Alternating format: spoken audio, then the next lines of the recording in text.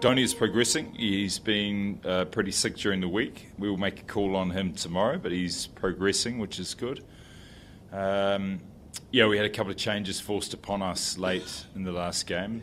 Um, and uh, performance wasn't due to the fact we had to make changes. We were just outplayed. So, uh, yeah, we're more uncomfortable going into this game. We'd been pretty good from a success-wise here at, at and sometimes just getting jolted out of um, the rhythms that you're in can be a good thing. So it's coming down to the business end of the tournament, and there's um, there's a lot on, on, on the line in each game, isn't there? So we're um, we're well aware of getting selections right. Our mantra has been to be as consistent as possible, um, and I don't see that changing.